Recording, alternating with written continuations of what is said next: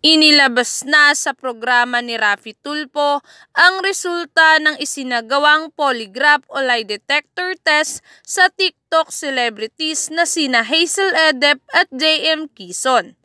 Gayon din sa grupo ng nakakuha ng smartphone ni Hazel na sina Jomar Estudillo, Ria Balyola at Annabel Aguilar. Napag-alaman na lahat ng naitanong sa naturang test lumalabas na nagsasabi ng katotohanan sina Hazel at JM. Samantala sa tatlong akusado, hati umano ang resulta.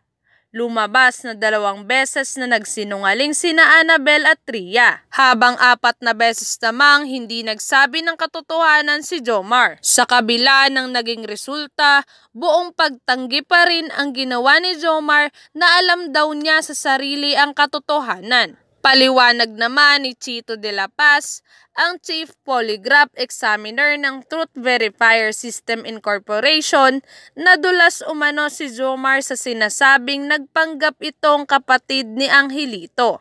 Si Angelito ang kasalukuyang nakakulong na siyang sinasabing kagagaling lamang sa stroke na sinasabing dahilan di umano ng grupo para manghingi ng 50,000 pesos mula sa TikTok star. Paliwanag naman ni Jomar, sinabi niya iyon bilang magkakapatid na umano ang turingan nila mula pa noong 1999. Sinubukan ni Tulfo na pag-ayusin na lamang ang magkabilang panig, gayong handa namang magpatawad si Hazel sa grupo. Ayon kay Hazel, Bagaman at matinding stress ang inabot niya sa insidenteng ito, lalo na at mag-birthday pa naman siya sa mga panahong iyon, handa naman daw siya magpatawad. Iyon ay kung aaminin na ni na Ria at Annabel ang umano'y kasalanan nila sa TikTok star.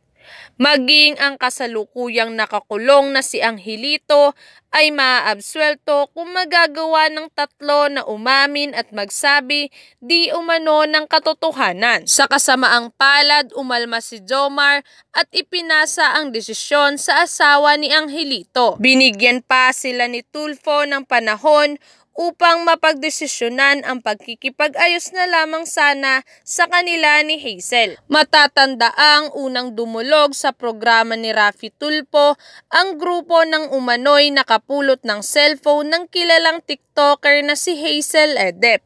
Ngunit nang marinig na ni Tulfo ang pahayag ni na Hazel at ng nobyo nitong si JM Kison, minarapat niyang ipasailalim ang mga ito sa lie detector test. Pumayag naman ang magkabilang panig kaya naman sa lalong madaling panahon na isagawa ito at nailabas agad ang resulta makalipas lamang ang ilang araw.